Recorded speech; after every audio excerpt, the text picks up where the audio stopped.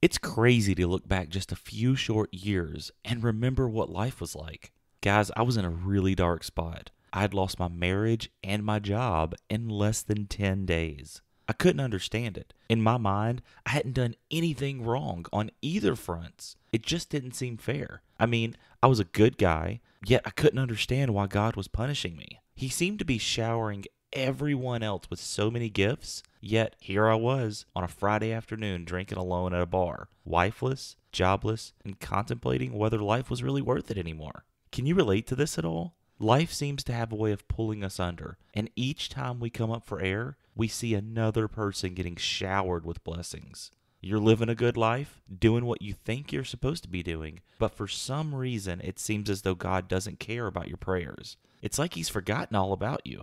Friends, He hasn't. He is and always will be there. Don't allow the bitterness of one situation to drown you.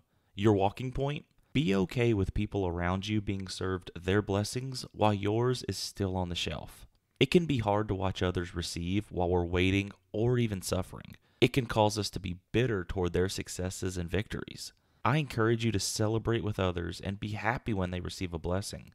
And don't lose hope or faith. Yours is on the way.